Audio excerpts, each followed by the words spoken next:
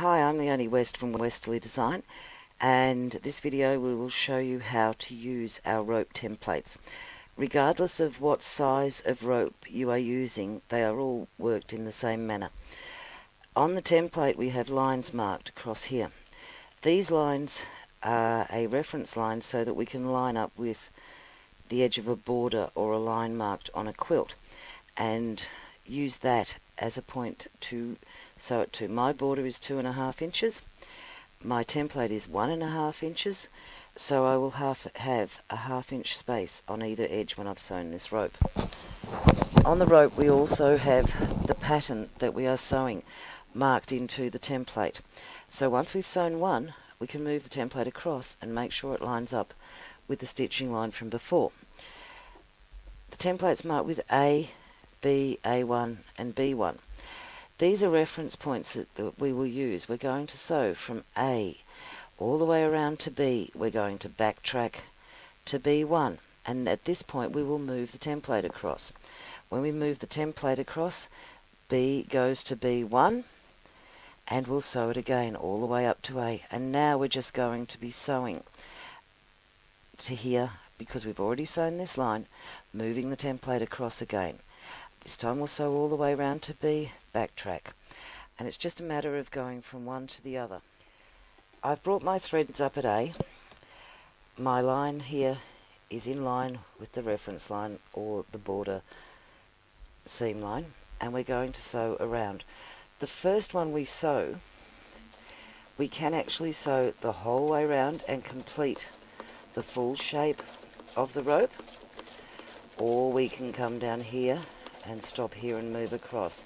For this one I will show you all the way around showing you the complete wreath being sewn. I'm going to stop here at A. Now I'm going to sew across to A1 which is over here. There is a line marked pointing with a little arrow. That line is where we want our needle to stop in line with. So we sew until the needle is in line with that arrow on A1. We will now move the template across, making sure that the bottom is lined up. We're also looking to see how our pattern lines up here.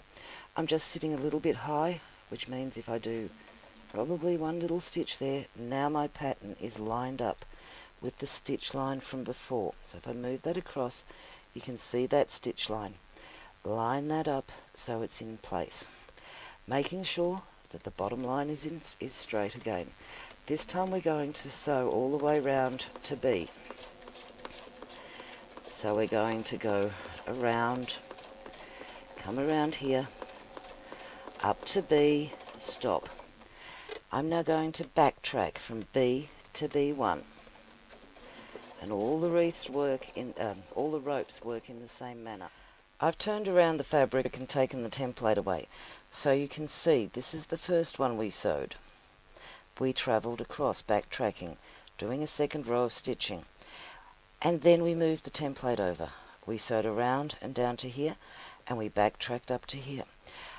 Because we have the key in our template, very easy to put the template back in place. That's great when we want to change from one template to another. I'm now going to bring that back round and I'll sew some more for you. So I've got the template back in place, my line is in line down here, that's the important part. And we're just going to go around sewing from B all the way up to A. Backtrack across to A1. Stop at A1. Move the template across. Make sure it's in line. Make sure our base is in line. And just keep going. It's really easy to sew a rope. You can do borders. You can run these around blocks.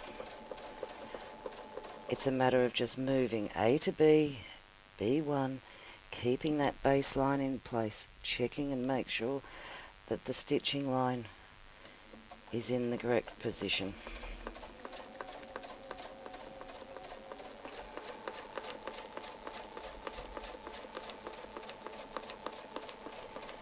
And back to A1. Stop here, move the template, line it up, make sure our base is in place. If you stopped a little bit far, just do a half stitch back up.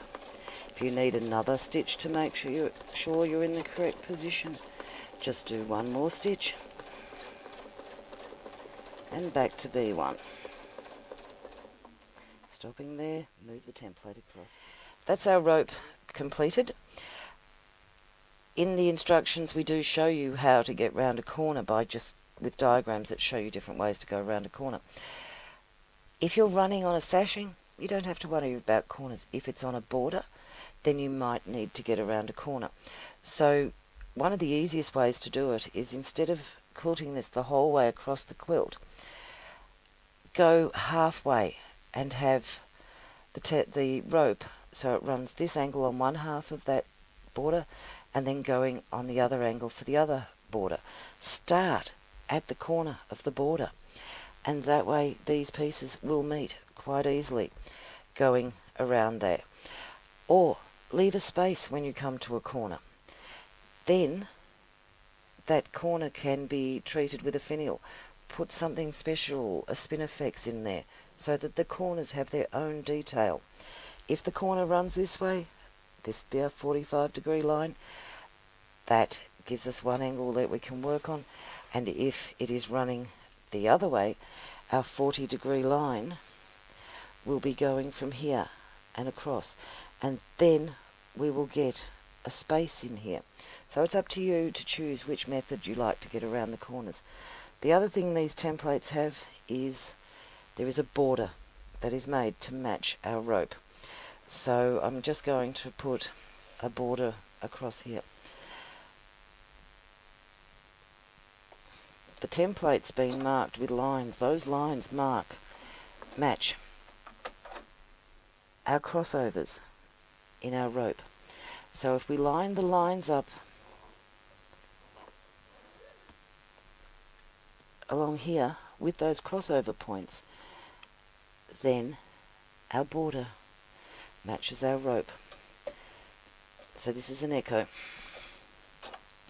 So bring our threads up, line those up, and now we can sew the echo. because our template is lining up across the top and touching these top peaks, it's going to be a quarter inch echo.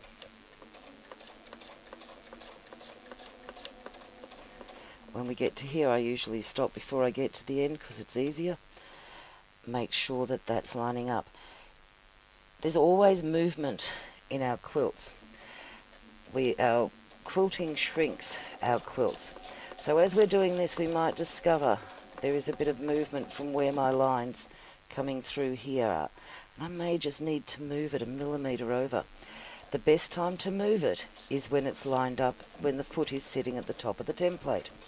Because if the foot is sitting here, you will not notice if I moved it a millimetre or two. But if you try to move it in this bottom part, when the foot is sitting down in here, you're going to see where that was moved from. So we just move it along, keeping those lines in place.